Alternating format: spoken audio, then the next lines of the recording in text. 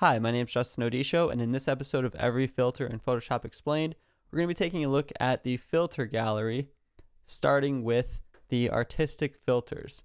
So I've chosen a portrait photo for this specifically because we have some really nice, cool ones, like Cutout is a standout one where you can take your original image and make it look like a cutout. And using the filter gallery, you always have the option to do a few different adjustments. So number of levels, I could choose one all the way up to eight, and you'll see that I'll slowly add more and more layers of color. However, if I keep it something simplistic like three, we almost get a cool pop art effect without even having to do much work. And then you also have edge simplicity, how much like noise and texture versus just simple shapes it is. And fidelity as well is almost like definition and sharpness of those edges. So this could be great for poster designs, flyer designs, and all different kind of things where it looks like this might have taken a lot more work than it is, but we just had a good starting photo with a clean background and applied a simple artistic filter onto it. Another thing with the filter gallery is that you can always stack effects on top of each other. So I could have this cutout effect, and then I could hit this plus button here for a new effect layer, and I could choose like a film grain as well. So I could do two filter gallery effects on top of each other and the order in which they're here is the order in which they're applied, so top to bottom. So if I take that film grain and actually put it below the cutout, now we get a different effect going on because the cutout is happening after the film grain. So in this way, we could stack multiple effects. However, if I ever press OK on the filter, you'll see that it's all one filter.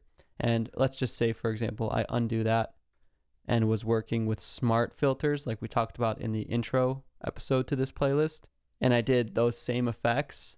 In this case, even under the smart filters, all of the filter gallery is just considered one effect that you did inside of the filter gallery.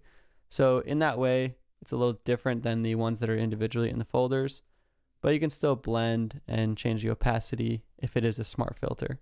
And if you ever double click that filter gallery, you can go back and hide, delete, or rearrange effects. So some other things in the filter gallery aside from the cutout here on a different photo example is just different ways to make it look like it was drawn either with colored pencils or different brushes, different paint application techniques. Let me delete that cutout effect in general and just work on the original photo. But we see we could change it to different styles of art, like a fresco painting or a palette knife or just daubs of paint. And depending on the different effect that you use, there's always going to be slightly different parameters that you can adjust. Another way you can choose effects is just with this drop down menu. You can kind of see everything in the filter gallery throughout all the folders. But there's some different useful ones tucked away in here, like I showed you, especially with the cutout. So rather than have a separate episode for every single effect in the filter gallery, you can kind of just get an idea as I flip through them here, the different folders. Like here's different types of brush strokes. There's its own little distort folder with different kinds of distortions, especially like this glass distortion can be interesting, even for photos or text or whatever. Add some glass distortion and refraction and rippling. You do ocean rippling. Then there's also sketch, which will turn your photo black and white. One really cool one in here is the halftone pattern.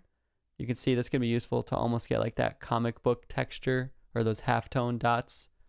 Uh, and it turns everything black and white. And remember, you can always press OK on these and then go on to add further adjustments. Like if I did do this black and white thing and then added a gradient map, for example, I could apply custom gradients on that black and white and get unique type of art and graphics from these combinations. And remember, whenever you're dealing with black and white, you can also use the that information to be great as layer masks, like I showed you in the first episode, where black will hide and white will reveal whatever effects are on the layer mask. So you have some more sketch type of effects. A lot of these do give it black and white looks, but you also have water paper there. There's only one in the stylized, which is glowing edges. Uh, a lot of these have similar aspects or are almost redundant with other filters like the find edges filter, which I'll, we'll see in a later episode, but they're still in here. And then texture could be a really useful one for applying different types of texture, grain, especially like the tiles, patchwork, or stained glass. These can be interesting. You can increase the cell size and combine these to get unique results.